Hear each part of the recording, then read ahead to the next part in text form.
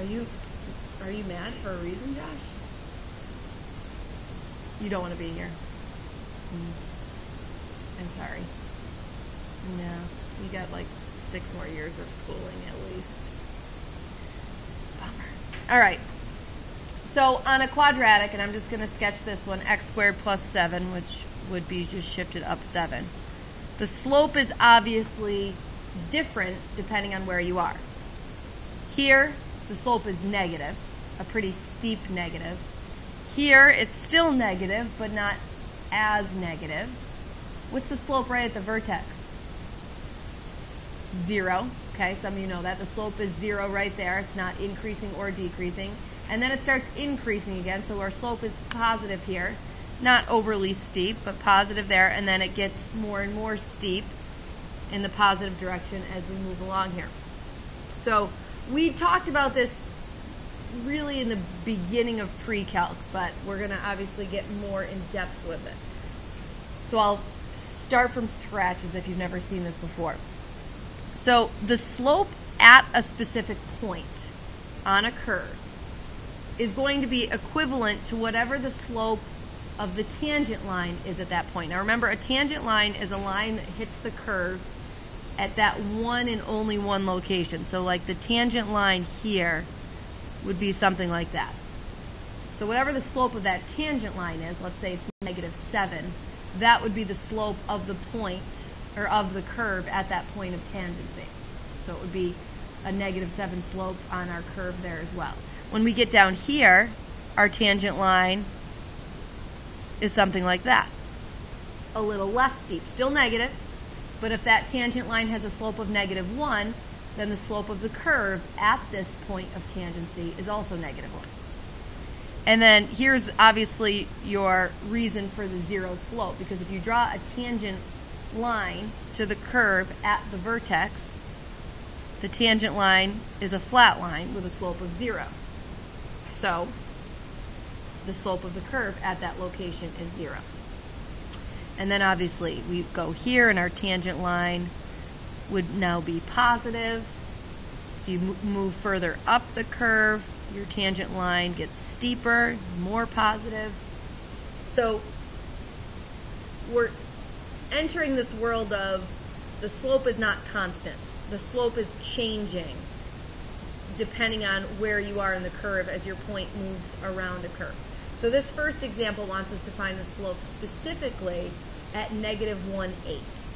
Okay? So I'm going to draw you another sketch and we're going to kind of talk about what this is going to look like because negative 1 8 is right around there.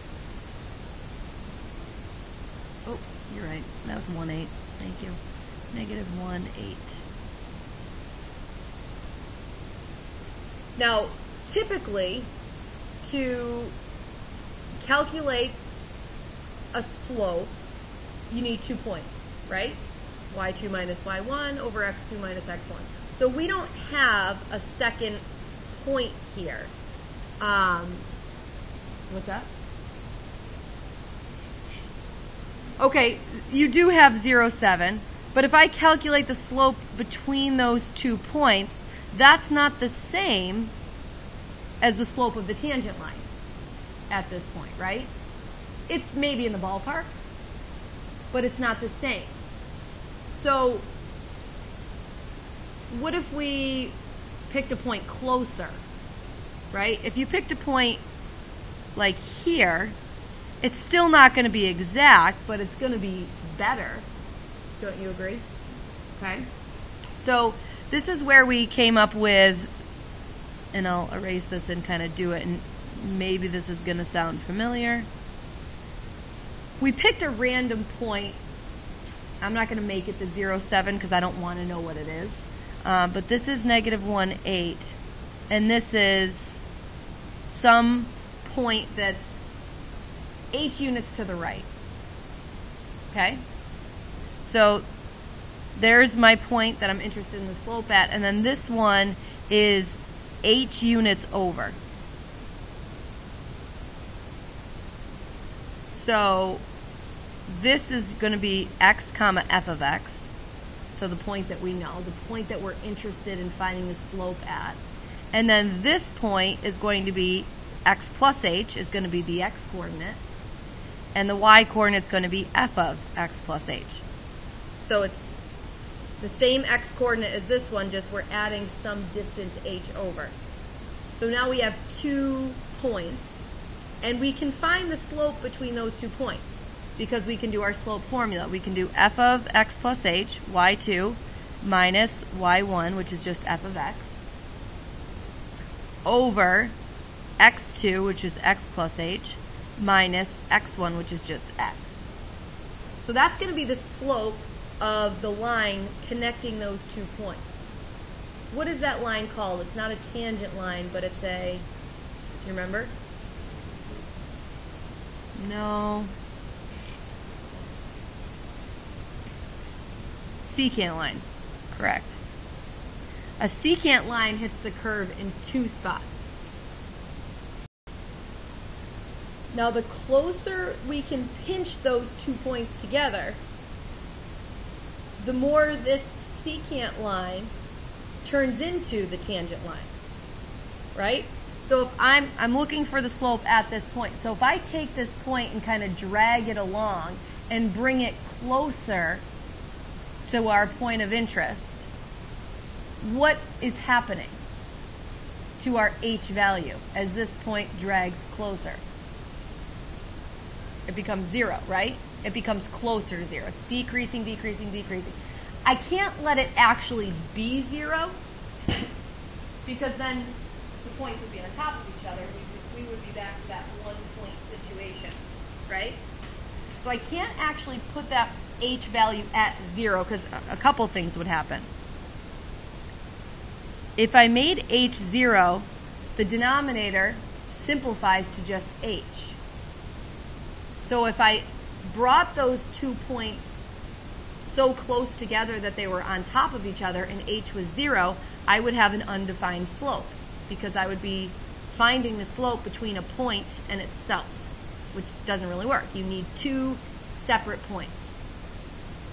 But the idea that we have to latch onto is that the closer this does become to the point of interest, the more the secant line is essentially the same as the tangent line. Okay? And this is where limits are going to come into play.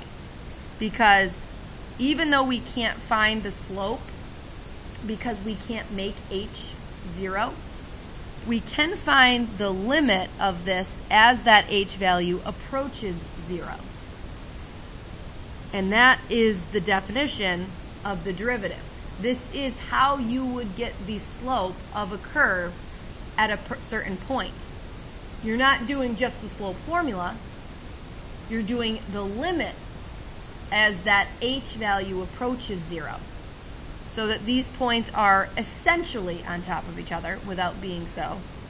So that we still have two points. Okay? So this is the definition of the derivative. the derivative of a function at some value x, at some x coordinate.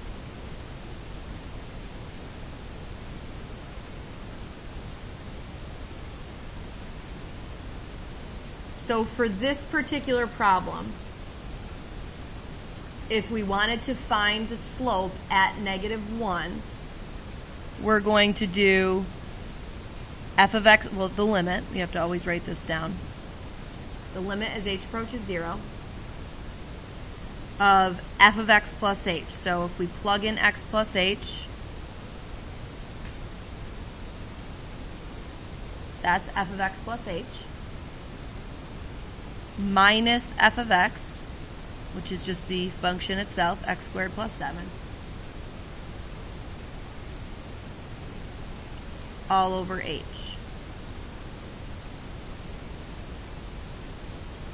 This is going to give us my generic derivative formula.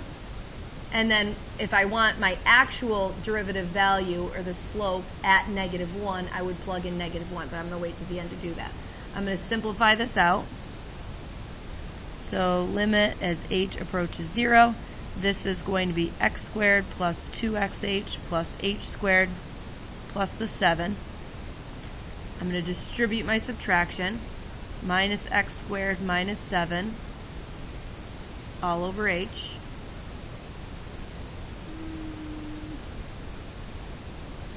Because I put that right in the middle.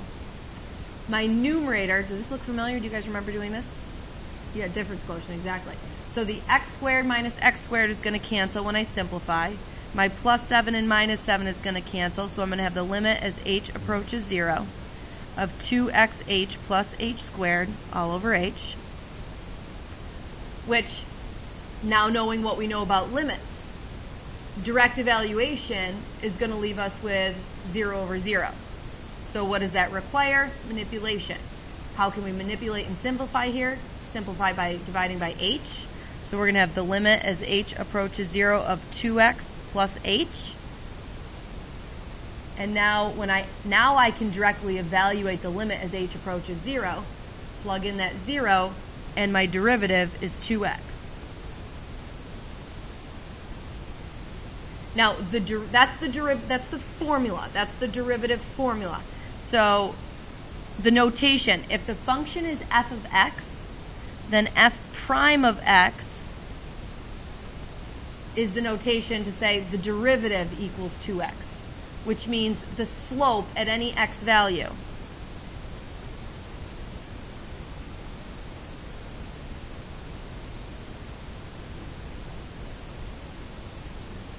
can be computed by 2x.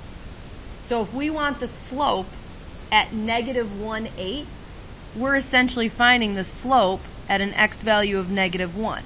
So f prime of negative 1 means the slope at negative 1 is 2 times negative 1, which is negative 2.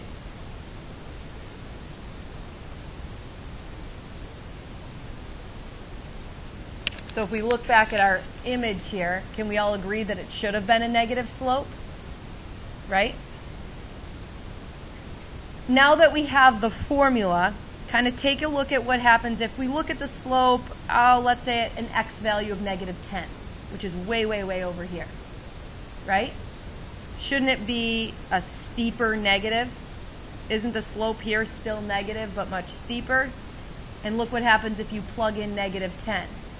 f prime of negative 10, meaning the slope at negative 10, is going to be negative 20, which is a much steeper one right at zero, which was the vertex, you told me that the slope was zero. So if I look at f prime at zero, I get zero.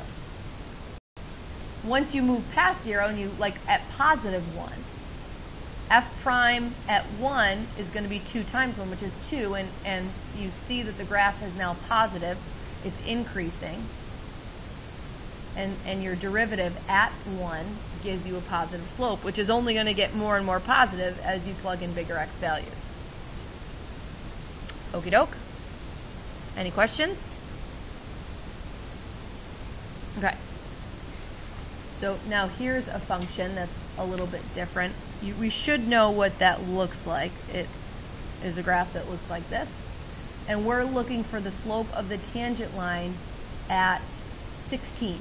So Let's pretend that's 10 and that's 20. So somewhere in here we're trying to find the slope of it.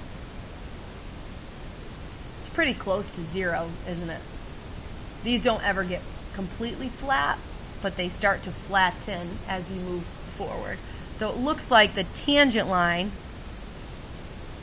and therefore the slope of the curve at that location is going to be pretty close to zero. Is it going to be positive or negative? we expect it to be positive because for a lot of these graphs, especially early on, we should know what they look like. So we should have an idea as to what our derivative or our slope is going to be.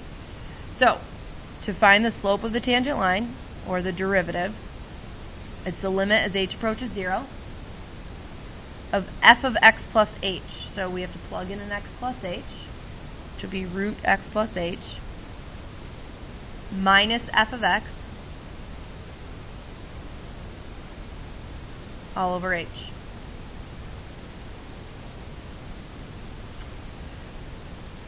And again, direct evaluation is going to give us 0 over 0. So how do we manipulate something like this? Rationalize the numerator. So that would be multiply by the conjugate over itself. So in my numerator, when I FOIL, I'm going to get x plus h. And these are conjugates up top, so the outer and the inner multiplications are going to cancel. And then negative root x times positive root x is minus x all over. And we're not going to multiply out the denominator. Usually when you rationalize, you only multiply out that conjugate portion. You leave the other side alone because that's going to help the cancellation be more obvious. And this still all has the limit as h approaches 0 in front of it. So now when we simplify the numerator, the x minus x cancels. And here you can see why it was smart not to distribute the h. Because that h is what's causing the problem in the denominator. It's making our denominator 0. So now we have h over h, which cancels. So this is just the limit as h approaches 0 of 1 over root x plus h plus root x. And so we've manipulated and simplified, so let's try to redirectly evaluate. So the limit as h is approaching 0.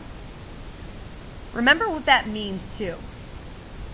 Just don't lose sight of the context. Why are we finding the limit as h approaches 0? Because we're pinching the two points as close together as we possibly can.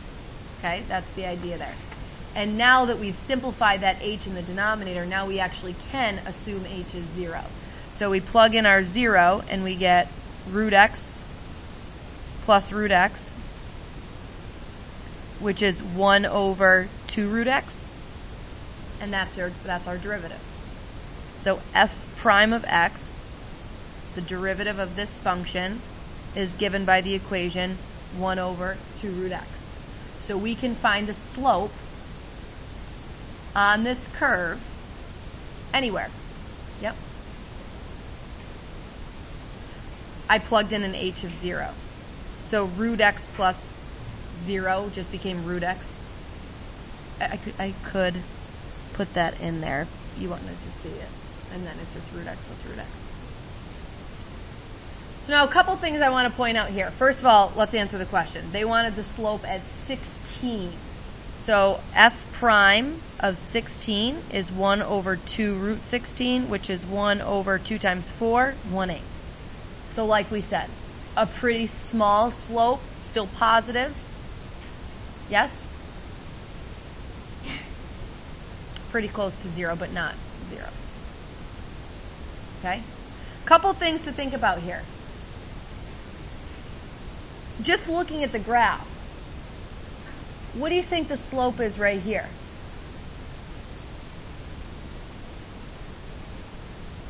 One. Anybody else have any ideas? Let me ask you this. Is it increasing or decreasing right here? If you were doing an interval notation question on tell me when this graph is increasing or decreasing, what is it doing right at zero? Is it increasing or decreasing? What'd you say? Neither. We always say at an end point, it's neither increasing nor decreasing, which means it can't have a slope there either. So let's think about that. Why can't it have a slope? Well, we talked about obviously contextually why it can't have a slope, but in terms of the equation, if you tried to evaluate what is the slope at an x value of 0, f prime of 0 is going to give you an undefined. And that's correct because there is no slope at that point. There is no slope at an endpoint. Now, just after that slope, Liam, I think maybe one is a good guess, right? Like if you did f prime of like 0.01, I would you'd need a calculator of that. But if you did f prime of 0.01, that would be an interesting limit question in and of itself. What would the slope be as you approach zero? So as you get infinitely close to zero, so the limit of this as x approach is as x is approaching zero from the right. would be a good question. And you plugged in like 0.0001 and it is approaching 1 over a teeny tiny number. That's only getting teenier and tinier. I'd have to think about that. Now I got my own self thinking. Um, that's obviously beyond what we're doing right now. I'm just letting my mind wander. Um, also of note is what's the slope of this function at negative 4? You would say it doesn't exist, probably because the graph doesn't even exist. And certainly if you check that, f prime of negative 4 is going to give you 1 over 2 times the root of negative 4, which does not exist for obvious reasons as well.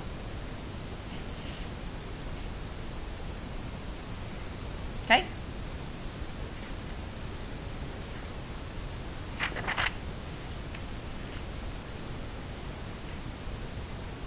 So on this one, find the slope of a tangent line at this certain point. This one I is pretty obvious if you look at the function. The function is a line. So this is one where no matter where you are on the line, what's your slope going to be? 4. So ideally, you get, you know, you don't get so caught up in cranking out the derivative that you can just say, well, that's a funny question. What's the slope of the tangent line to a line? It's just going to be that slope no matter where you are. But let's see from our definition perspective why that happens. So we're going to do it anyway, even though we already know the answer is 4. The limit as h approaches 0 of f of x plus h minus f of x all over h.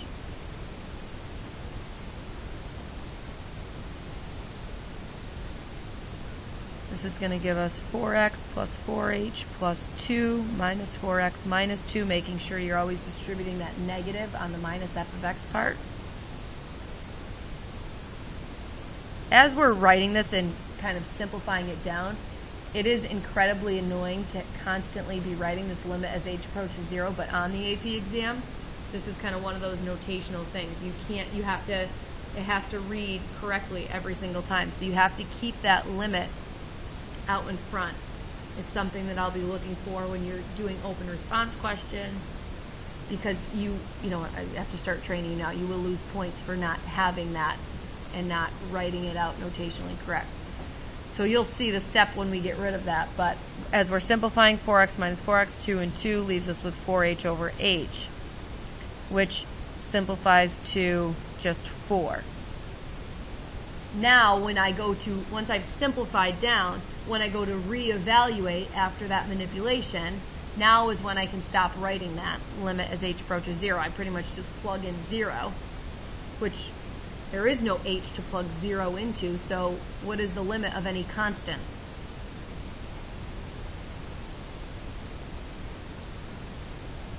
Itself, correct. So if you plug 0 into 4, where there's no h to be plugged in, it just remains 4. Okay?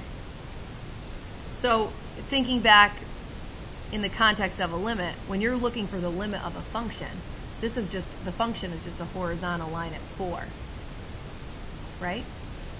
So the limit of this as h approaches 0, so as you approach 0 from the right and as you approach 0 from the left, you're at four, no matter which side you're coming from, obviously.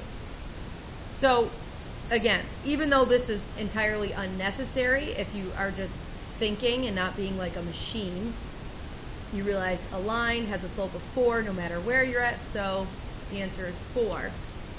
So your derivative formula is just a constant. It's always four. So whether you're at an x coordinate of 1 or an x coordinate of 17 or an x coordinate of 152, your slope is always going to be 4.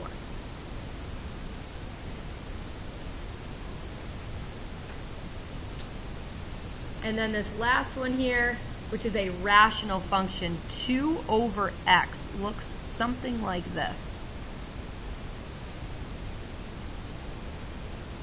We're looking for the slope at 1, 2, so somewhere in here.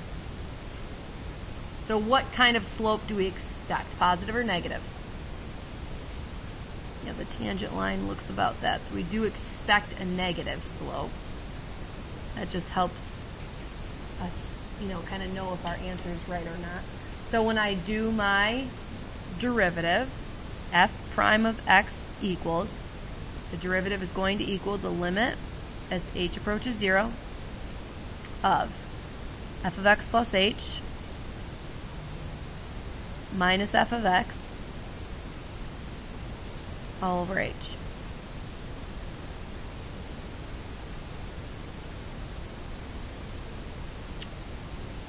Direct evaluation is going to give me 0 over 0. So what's my manipulation look like in a case like this? Right. Yep, clear the fractions. So my least common denominator of the fractions within the fraction is x plus h times x. So if I multiply the numerator by x times x plus h and the denominator by x times x plus h, in my numerator when I distribute, that first distribution is going to cancel the x plus h. It's going to leave me with 2x. The second distribution is going to cancel the x's. It's going to leave me with minus 2 times x plus h all over in my denominator. I'm not going to distribute anything. It's going to be h, x, x plus h. So when I simplify out that numerator, 2x minus 2x is going to be gone, minus the 2h. It's going to be negative 2h up top over h, x, x plus h. And my h, which is the problem, which is what was making my denominator 0, is going to cancel this h with this h. And now I can directly evaluate. Now that I've simplified it out, down to just being negative 2 over x, x plus h, now I can directly evaluate. So this is when I can stop writing limit as h approaches 0, because I'm about to plug in that 0 for h. Negative 2 over x times x plus 0 gives me negative 2 over x squared. And remember, that was my derivative. So this is my derivative formula.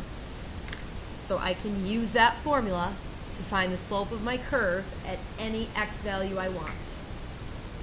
So at 1, so f prime of 1 is going to be negative 2 over 1 squared is going to be negative 2. That's the negative slope we expected. What's going to happen to my slope as I go towards infinity? Closer to 0. Let's test one just for fun. If I do f prime of 10, that's going to be negative 2 over 10 squared, which is negative 2 over 100. Getting closer to 0, right? Still always negative because it's still decreasing but the slope is getting closer and closer to zero because it's pretty much flatlining along our horizontal asymptote, right? And flatlining means it's approaching a slope of zero. The slope at zero, what do you think the slope at zero is going to be?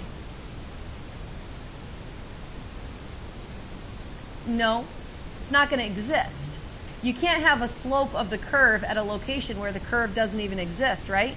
This is a vertical asymptote. So if you went to try to see what the slope was at an x value of 0, you're going to get negative 2 over 0 squared, which is undefined or does not exist.